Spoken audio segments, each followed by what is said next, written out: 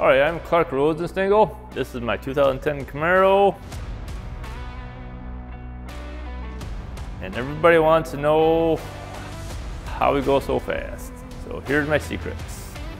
First of all, people want to know what these are to the roof rails, keep me stable, and they want to know where I got them from. Well, I made them.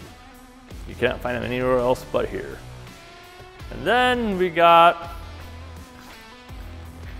the Pride and Joy, the SMX, the Morris engine.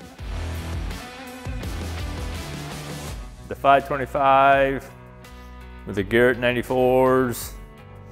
You got all kinds of valves in here for pump gas, tune, switch over to methanol to go racing. And then we got these turbo logs. They're new, they're not headers. A lot of people thought maybe I was losing horsepower. I got enough horsepower to overcome that. Come on, people. But we do have a dry sump oiling system, oil cooler, oil filter, oil fuel filter all up on top, nice and easy. Pretty much a simple engine. I mean, if I can work on it, anybody can. Then inside here we got the tune.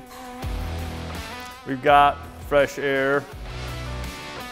Cause last year I got overtaken by methanol, so now we got the scuba tank in there for my fresh air for the helmet. That worked great. Pretty much all stock interior. Yes, it's 4,300 pounds, a tank. Then we got the trunk release, where you can see the trunk is kind of screwed up. Go figure. We can fix it. I'm a buddy guy. And then we got two fuel tanks. Big tank is normally for drag and drive, small one's for methanol, but for staying mild, we do switch it so the big tank is methanol so we don't run out of it. And switches to pump gas to clean the injectors out at the end. And we got two chutes. We got a long chute and a short chute. You pull a long one to stabilize the car, which I did, and it does help. You pull a short one if you really had to stop fast. And I need someone to come over and wax it now because it's dirty.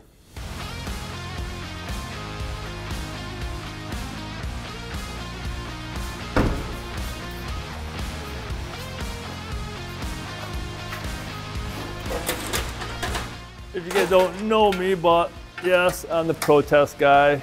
See? Protest it. Don't care. Parts. Parts. That's what happens when it comes off at 263.56. It's not good.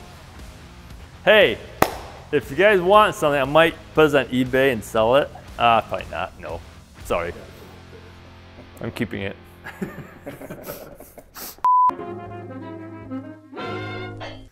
then it's a dry sump. Oh, ah. he just hit my wing. Look what he did to it. Sorry about that. I don't care. He scratched it. And he, he scratched my wing. Look at that. You just ruined your wing. I gotta buy me a new one.